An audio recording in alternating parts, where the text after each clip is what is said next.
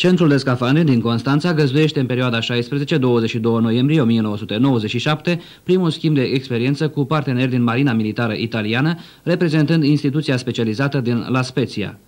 După ce au făcut cunoștință cu organizarea și specificul unității de profil a Marinei Militare Române, cei cinci membri ai delegației conduse de comandorul Stefano Brichi s-au familiarizat astăzi cu antrenamentele executate de scafandrii români în laboratorul Hiperbar.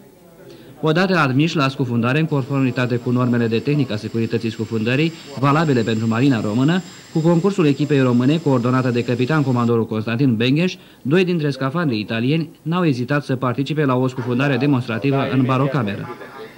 Întrucât pe timpul desfășurării exercițiului s-a simulat apariția unui accident de scufundare, echipa medicală condusă de majorul dr. Ion Marinescu a aplicat măsurile adecvate unei situații critice.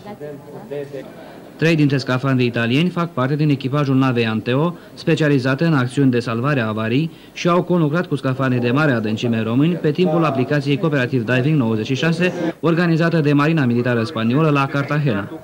Pe parcursul a două zile, scafandrii italieni vor executa împreună cu subordonații capitan comandorilor Mircea Rusmănică și Dan Pața exerciții de scufundare în comun de la bordul navei Grigore Antipa. Activitățile se vor desfășura în raionul Constanța Eforie Sud, utilizând echipamentul din dotarea unității de scafandre de mare adâncime din Constanța, evenimentul constituind o premieră în istoria relațiilor de parteneriat între cele două flote.